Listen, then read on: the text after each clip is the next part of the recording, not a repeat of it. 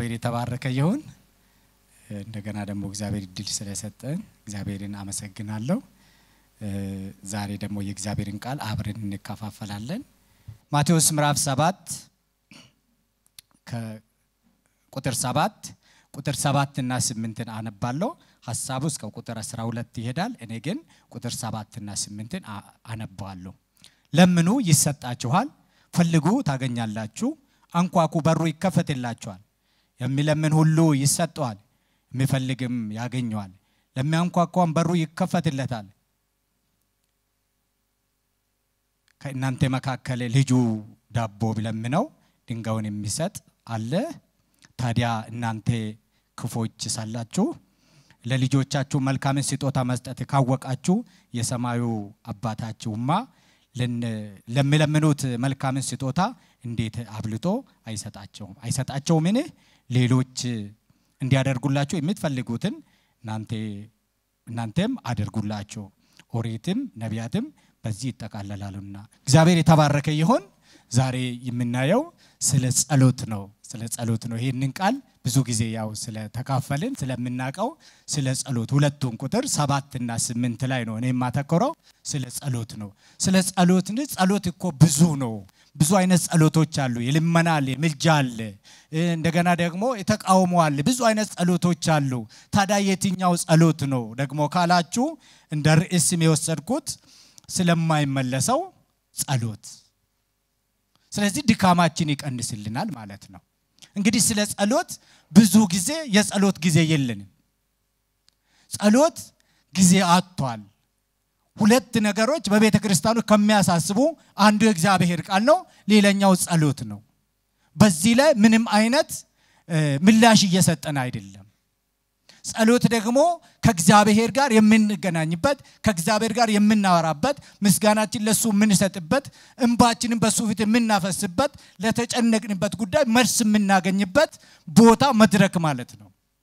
ስለዚህ ጸሎት አንጸልም። ስንጸልይ ደግሞ የማይመለሱ ጸሎቶችን እንጸልያለን ማለት ነው። ፍሬ የሌላቸውን ጸሎቶችን እንጸልያለን። ስለዚህ እነዚህን ነገሮች እንድናይ ይፈልጋለሁ ዛሬ ማለት በማስተዋል እንድትከታተሉኝ ይፈልጋለሁ። ይሄ ቃል የተራራው ስብከት የሚባለው ከማቴዎስ ምዕራፍ አምስት ጀምሮ እስከ ሰባት መጨረሻ ያለው የጌታችን የኢየሱስ ክርስቶስ ረዥሙ ስብከት የተራራው ስብከት ተብሎ የሚታሰበው ነው። ወይም ደግሞ እውነት የተጻፈው ማቴዎስ እሱን የጻፈልን ማለት ነው። ደግሞም እውነት ነው። ደግሜ ቁጥር ሰባትና ስምንትን አነባለሁ። ለምኑ ይሰጣችኋል፣ ፈልጉ ታገኛላችሁ፣ አንኳኩ በሩ ይከፈትላችኋል። የሚለምን ሁሉ ይሰጠዋል፣ የሚፈልግም ያገኛል፣ ለሚያንኳኳም በሩ ይከፈትለታል። ስለዚህ አሁን እንለምናለን፣ መልስ የለም። እናንኳኳለን፣ አይከፈትም። እንፈልጋለን፣ አናገኘውም። ለምን? ሁሉም ጸሎቶች አይመለሱም እያልኩ አይደለም። ጸሎቶቻችን ለማስመለስ የምንጓዝባቸው መንገዶች ብዙ ስለሆኑ ማለት ነው። ብዙዎቻችን የጸሎቶቻችን ለማስመለስ ብዙ ክሳራ ውስጥ የምንገባባቸው ጉዳዮች ስላሉ ማለት ነው። ለምንድን ነው ጸሎታችን ታዲያ የዘገየ? ለሚያንኳኳ ይከፈትለታል ነው የሚለው። ለሚለምን ይሰጠዋል ይላል። የሚፈልግ ያገኘዋል ይላል። ለምንድን ነው ታዲያ የእኛ የዘገዩት? እነዚህን ነገሮች ለምንድን ነው የሚለውን ከማይመለሱ ለምን ጸሎቶች ከማይመለሱ ጸሎቶች መካከል አረቱን ብቻ ብዙ አሉ። አረት አይደሉ አረት ብቻ አይደሉም፣ ብዙዎች አሉ። እኔ ግን አረቱን ወስጃለሁ ከነዚህ ውስጥ እነሱን አብረን እናያለን። ለምንድን ጸሎቶቻችን የማይመለሱት? ለምንድን ጸሎቶቻችን የዘገዩት? የሚለምን ያገኛል ከተባለ ለምንድን ነው የኛ የዘገየው ታዲያ? ለምንድን ነው የቆየው? ይህንን ትኩረት መስጠት አለብን። እንዳልኳችሁ የጸሎት ጊዜያችን በጣም አጭር ነው። ከጸለይን ምናልባት ልጆች ያሏችሁ ጠዋት ጠዋት ከልጆቻችሁ ጋር ቁርስ ብሉ፣ ልብስ ልበሱ በማለት ምን ያክል ጊዜ እንደምትቆዩ ታውቁታላችሁ። የኔ ልጅ ጠዋት ጠዋት እንጸልያለን ከመውጣቱ በፊት ተንበርክከን እንጸልያለን። ገና ከመጸለያችን በፊት አባዬ እንዳታስረዝመው ይለኛል። ለምን እንደው ታውቃላችሁ? የእኔ ልጅ ነዋ። እኔ ጊዜ ያልወስድማ ከኔ ነው የተማረው። የአዳም ዘር ነዋ። አያችሁ፣ በልጅነቱ አታስረዝመው። ቁርስ ጋር እንኳን ብዙ ለመብላት ሳይሆን አንድ ሻይና ማነው ጥንጥዬ ሻይና አንድ ብርጭቆ ሻይና አንድ ዳቦ ለመብላት አንድ ሰዓት ይፈጅበታል። ይቆያል ማለት ነው። ጸሎት ገና ልንሰድ ማስጠንቀቂያ ይሰጠኛል። ምን እንዳትለው እንዳታስረዝመው። እናስ እኛስ እንወዳለን እናስ እናስረዝማለን። ወዳጆቼ በህይወታችን ውስጥ ከማይቋረጡ ነገሮች ብዙ ነገሮች አሉ፣ እስከ ዛሬ ድረስ ማለት ነው። የመብላት ህግ፣ የመልበስ ህግ፣ የመኖር ህግ፣ ሁሉም ወደዚህ ምድር ከመጣንበት ጊዜ ጀምሮ እስከ ዛሬ ድረስ ሰዓታቸውን ጠብቆ ይጓዛሉ። ጸሎት ግን የለም። የእግዚአብሔር ቃል የለም። አርብ በዚህ ቦታ ትምህርት አለ። የሚገርም ትምህርት። ለምንድን ነው ማንገኘው ብለህ ስል ወይ ስለምናቅ ሊሆን ይችላል። ስላወቅ ነው እኛ የምናውቀውን ስለሚያስተምረው። ምክንያቱም ያያችሁትን ፊልም ደግማችሁ ስለማታዩ ማለት ነው። ምን ያደርግላቸዋል? ስለምታውቁ። ለምንድን ነው ከእግዚአብሔር ቃል የራቀን? ለምንድን ነው ከጸሎት ህይወት የራቀን? ይሁን እሺ፣ ባገኛት ባገኘናት በዛች ደቂቃ ውስጥ ደግሞ ለምንድን ነው የምንባክነው? የማይመለሱ ጸሎቶች ለምን እንጸልያለን? አርብ እዚህ ስፍራ የነበራችሁ እህታችን ንጹህ እዚህ ጋር ስታሳየን ጸሎት አይሉት ተንበርክካ ሙግት ነበር። እሷ እዚህ ነው የተንበረከከች። ውጭ ግን ከሆነች ሴት ጋር በተውኔት ማለት ከሆነች ሴት ጋር ትደባደባለች፣ ከሆነች ሴት ጋር ትጣላለች፣ ንሳ ትገባለች፣ እንደገና ተነስታ ያ ህይወታችን የእኛን ጸሎት የሚያሳይ ማለት ነው። ስለዚህ ለምንድን ነው ጸሎቶቼ የማይመለሱ ጸሎታችን ለምንድን ነው የማይመለሱት? አንደኛ ስለምን ስለምን እንደምንለምን ስለማናውቅ ነው። ምን እንደምንለምን አናውቀውም። በእውነቱ ከሆነ ማለት ነው። አንዳንድ ጊዜ እንደ ሰፈር ጓደኛ ነው እግዚአብሔር የምናየው። በቃ ዝም ብለን ተዘጋጅተንም አይደለም ምን ጠየቀው ጥያቄ ከዚህ በፊት ተናግሬ እንደሆነ አላውቅም እና ዘጠና ሰባት ስምንት አካባቢ አንድ ቦታ እየጸለይን እኔ ፕሮግራም እየመራው ስለነበረ አንድ መሪያችን ተንበርክኳል እና አንዷ እህት እኔ አይኔን ከፍቼ ስለ ሁሉም ተንበርክኳል እና መታ የሆነ ነገር በጆሮ ነገረችው። ብቻ አንድ ድምፅ ሰምቻለሁ። እሺ ስላት ሰምቻለሁ። እንደገና ተንበርክካ ተመልሳ ዞር ብላ አየች። ለምን ገርሟታል፣ እሺ ማለቱ። ከዛ ትንሽ ቆየና ተነስቶ መቼም እግዚአብሔር ብሎት አይደለም ከልቧ እንዳላለች ያው ያውቋልና ለመገጸጽም ሊሆን ይችላል። የሰራዊት ጌታ እግዚአብሔር እንደዚህ ይለኛል፣ ልጄ ሆይ እሰበስብሻለሁ ብሎኛል ጌታ አለ። እሰበስብሻለሁ። ብዙዎቻችን እንዲህ አይነት ጸሎት እንጸልያለን ታውቃላችሁ፣ ሳናስብበት በማፌት እንደተንበረከክን ሳናስብ ማንን እንደምንጠይቅ ሳናቅ አጉል ጥያቄዎችን በእግዚአብሔር ፊት እንጠይቃለን፣ እግዚአብሔርን እንጠይቃለን። ምን ብላ ነገረችው? በቃ እኔ መኖር አቅቶኛልና ጌታ እንዲሰበስበኝ ጾም ጸሎትን ያዝ ነው። ጌታ እንዲሰበስበኝ ጸልዩልኝ ነው ያለችው። እሺ ስላት ማመን አቅቷታል። እንዴት እሺ ይባላል? እግዚአብሔርንም ሰውንም ለማባባት ነበር ልቧ። እሷ የፈለገችው እሱን ነበር። ግን ዝም ነው ያለው። ጸሎት ርዕስ ተቀብሎ ጌታ እንዲህ ብሎኛል እሰበስብሻለሁ ብሎኛል ጌታ ስል ደነገጠች። ጌታ ሆይ በቃ ሰለቸው ማለት ነው። በቃ አታዝንልም፣ በቃ የኔ ነገር እንዲህ ነው ብላ ማውራት ጀመረች። ለምን እኛ የምንጸልየው አይነት ጸሎት ስንቶቻችሁ ጌታ ሆይ በቃ ዛሬ ውሰደኝ፣ እኔ አልፈልግም፣ ትንሽ ነገር ሲጎድል በቃ አልፈልግም፣ ውሰደኝ፣ ሰብስበኝ።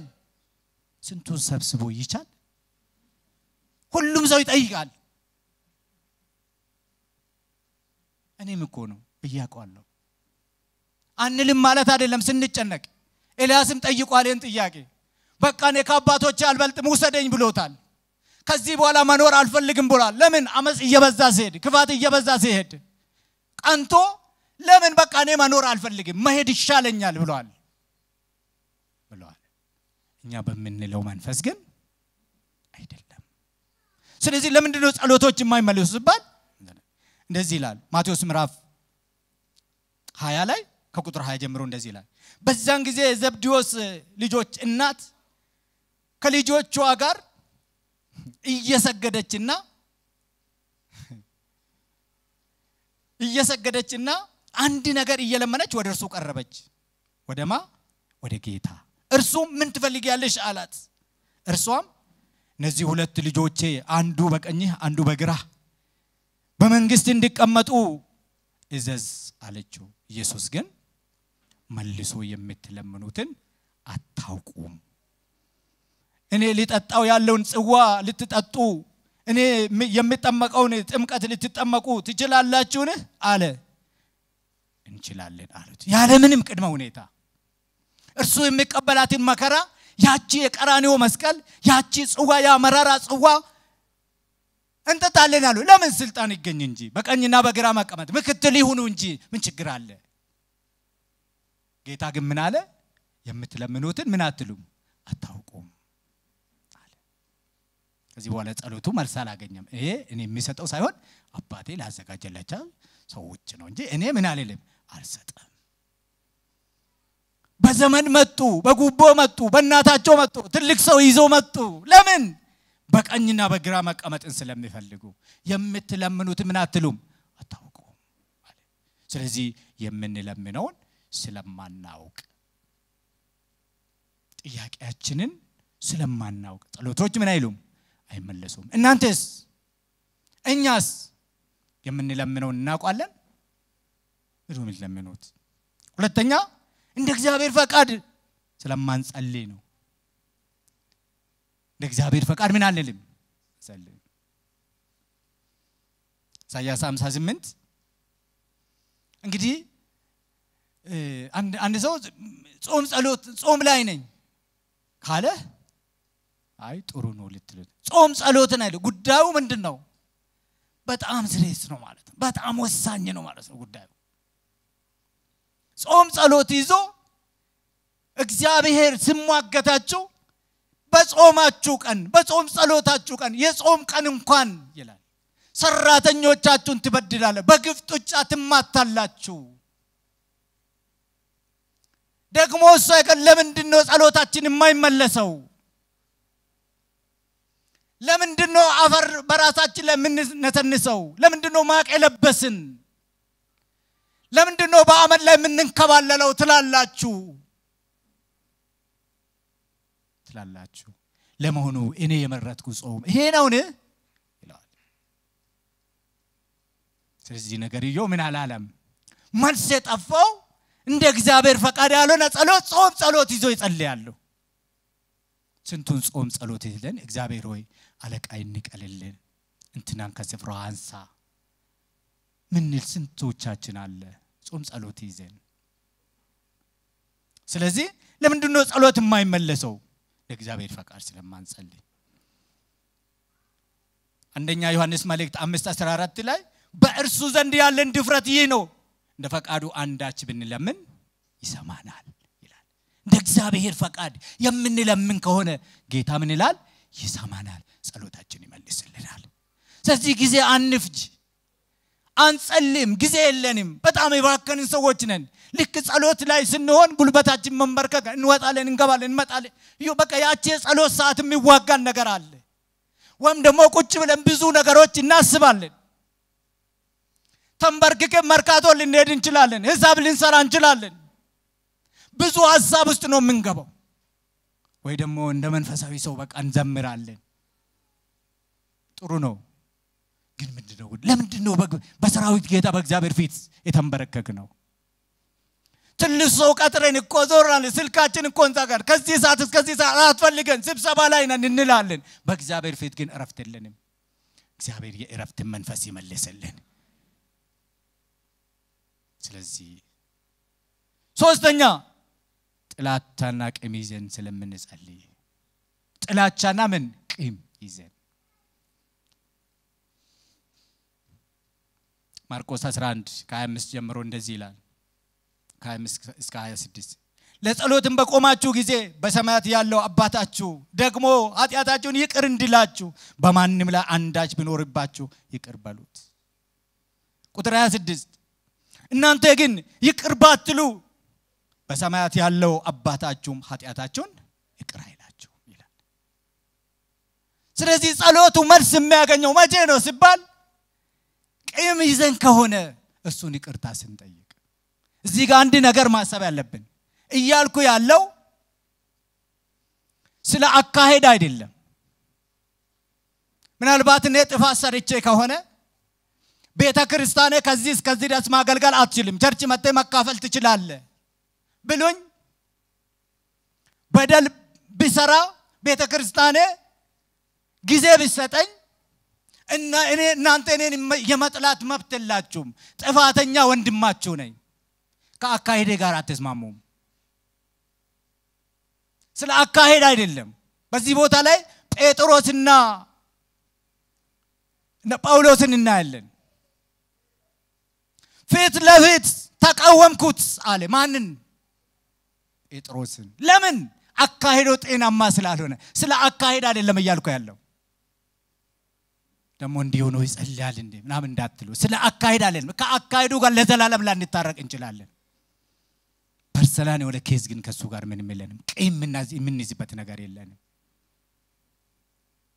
ስለዚህ ፍርድ ይገባው ነበር። ለምን ያመቻምቻል? እዛ ሄዶ አይሁዶችን ሲያይ ሌላ ጴጥሮስ፣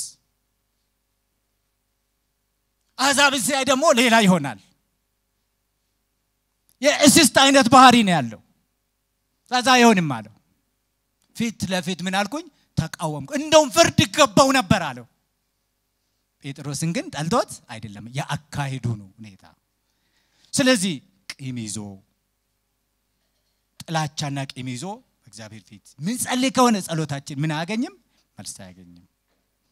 ማቴዎስ 5 23 24 እንደዚህ ይላል። ስለዚህ መባህን በመሰዊያው ላይ ለእግዚአብሔር በምታቀርብበት ጊዜ ወንድምህ የተቀየመ ነገር መኖሩ ትዝ ብልህ መባህን በዛው በመሰዊያው ፊት ተው።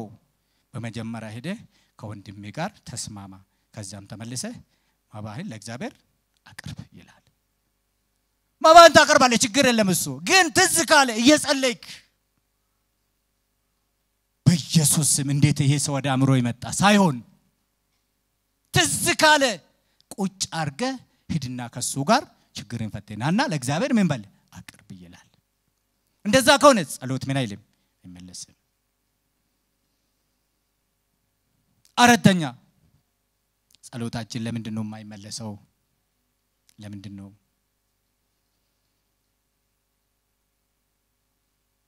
እርስ በርስ ሳይስማሙ አብሮ መጸለይ። ባለትዳሮች፣ አባት፣ እናት፣ ልጅ፣ ቤተሰብ ሳይስማሙ በአንድ ሀሳብ ሳይስማሙ በአንድ ወቅት ከአንዲት እህት ጋር ጸለይን። እናቴ ታማለች ብላ ጎጃም በረንዳ አካባቢ አንድ ቤተ ክርስቲያን አለ። እዛ ጸለይን ለሁለት ሰዓት። እናቷ የካቲት ተኝቶ ነበርና ጸለይን። ጸለይን ከጨረስን በኋላ ይህንም ተናግሬ ከሆነ አላውቀውም ከዚህ በፊት ከጸለይን በኋላ ሁለት ሰዓት ጸለይን። እናቴ እኮ አትድንም አለች።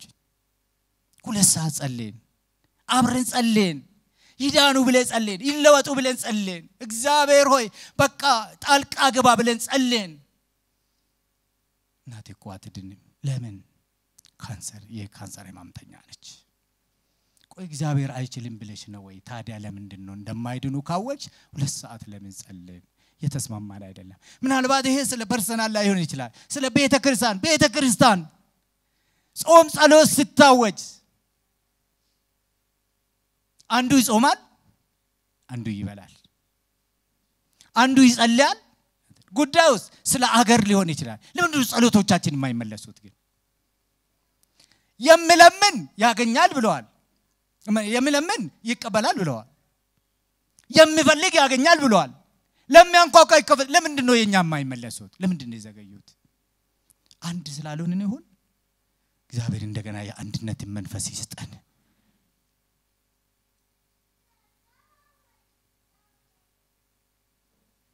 ደግሞም እውነት እላችኋለሁ እውነት እውነት እላችኋለሁ በምድር ላይ ሁለት ሆናችሁ ስለ ምንም ነገር በመስማማት ብትጠይቁ በሰማይ ያለው አባቴ ያደርግላቸዋል። ይህንን ያለው ጌታ ኢየሱስ ክርስቶስ ነው። ሁለት ወይም ሶስት ሆነው በስሜ በሚሰበሰቡበት በመካከላቸው በዛ እገኛለሁ። ስለ ቤተ ክርስቲያን ጸሎት ነው ይሄ ይገኛል። ጌታ በቤተ ክርስቲያን ጸሎት መካከል ይገኛል። በህብረታችን መካከል ይገኛል። ግን ሳንስማማ ስንቀር ነገሩ ምን ይሆናል? ድካም ይሆናል። ስለዚህ እህቶቼ እና ወንድሞቼ፣ ቤተሰቦቼ፣ ታላላቆች፣ ታናናሾቼ የማይመለሰውን ጸሎት ትተን እንደ እግዚአብሔር ፈቃድ ምን ምንድን ነው መለመን ያለብን የሚለውን ነገር መጀመሪያ ማሰብ አለብን። ምንድን ነው መለመን አለብን? ምንድን ነው መጠየቅ አለብኝ? ጥያቄያችን መጀመሪያ ማስተካከል አለብን። ያን መልስ እናገኛለን።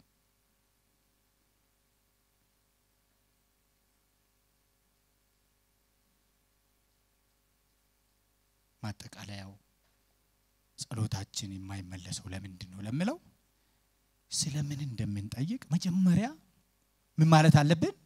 ማሰብ አለብን። ትልቁ እግዚአብሔርን ስለሆነ ዘውልቁ 14 ቁጥር 28 ላይ እስራኤል ያጉረመርማል በሙሴ ላይ በእግዚአብሔር ላይ እዛ ግብፅ መቃብር የለም ወይ? ለምን ታወጣናል? ለምን መከራ ታበላናል? ይሉታል። ምንም አልጎደላቸውም እኮ ኪሳቸው ባዶ ነው፣ ግን ይበላሉ። እባብና ጊንጥ ባለበት ጫማቸው አላረጀም፣ እግራቸው አላበጠም፣ በውሃ ጥም አልሞቱም። ከአለት ውስጥ እግዚአብሔር ያወጣላቸዋል። ግን ምን አለ? ያጉረመርማሉ። ምንድን ነው እዛው መቃብር ባለበት ተመልስን ብንሞት? ከዛ እግዚአብሔር እንዲህ አላቸው፣ እኔ ሕያው ነኝና እኔ ሕያው ነኝና በጆሮዬ ስትናገሩት እንደሰማሁት እንደዛ አደርግባቸዋለሁ። አትገቡም ወደዛ አለው እግዚአብሔር። ወደ ተስፋይቱ ምድር አትገቡም። ለምን? ስትናገሩ ምን ብያለሁ? ሰምቼአለሁ። እግዚአብሔር ፊት ስንመረከክ የሆነ እንትን ማለት የለብንም። ትክክለኛ የምንፈልገውን እግዚአብሔር መጠየቅ አለብን።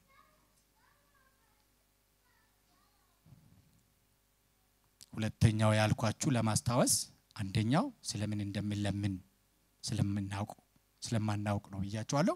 ሁለተኛው እግዚአብሔርን ፈቃድ እንደ እግዚአብሔር ፈቃድ ስለማንጸልይ እንደ እግዚአብሔር ፈቃድ መጸለያል። ምንድን ነው ፈቃድ? ጌታ ሆይ ጌታ ኢየሱስ ክርስቶስ የሆነች ሰዓት ላይ ያቺ ሰዓት የጭንቅ ሰዓት አባት ሆይ ፈቃድ ቢሆን እቺ ጽዋ ከኔ ትወሰድ አለ። ነገር ግን አለ የእኔ ፈቃድ ሳይሆን ያንተ ፈቃድ አለ። እኔ ልሙት፣ ፈቃድ ይፈጸም። እኔ ልሰቀል፣ ልሰቃይ፣ ፈቃድ ይሁን። የእኔ ሳይሆን ያንተ ፈቃድ ይሁን። የእግዚአብሔር ፈቃድ ጥላቻና ቂም ይዘን ስለምንጸልዩ ለምንድን ነው ጥላቻና ቂም? እንደ እግዚአብሔር ፈቃድ ቃሉ እንደምለን ይቅርታ መጠያየቅ፣ ይቅር ማለት፣ ራሳችንን መፍታት ይገባናል። አራተኛ እርስ በርስ ሳይስማሙ አብሮ መጸለይ መስማማት አለብን። መስማማት አለብን።